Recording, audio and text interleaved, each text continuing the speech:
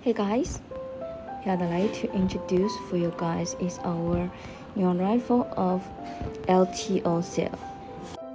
It is new and flat. Rated voltage is 2.3 volt.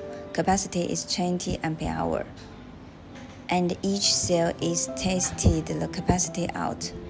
Capacity all above 20 ampere hour.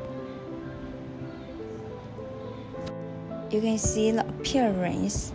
It is flat and new. And it is already laser welding the M4 stator on it.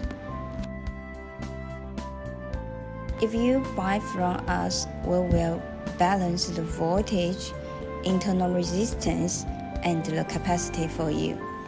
It is very suitable for uh, solar energy storage and uh, the EV cars, and especially for the car starting system.